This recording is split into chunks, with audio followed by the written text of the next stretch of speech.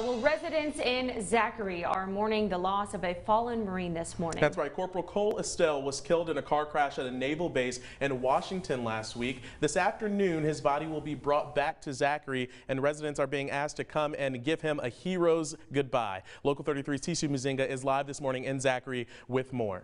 Tisha, good morning.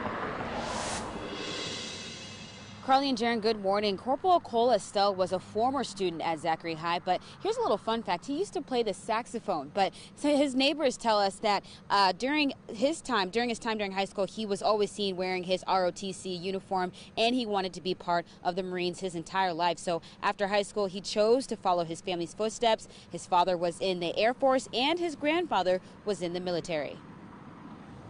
It accomplished his dream, and you know, not many people can go through the Marine Training Boot Camp. It's tough, and uh, he did it.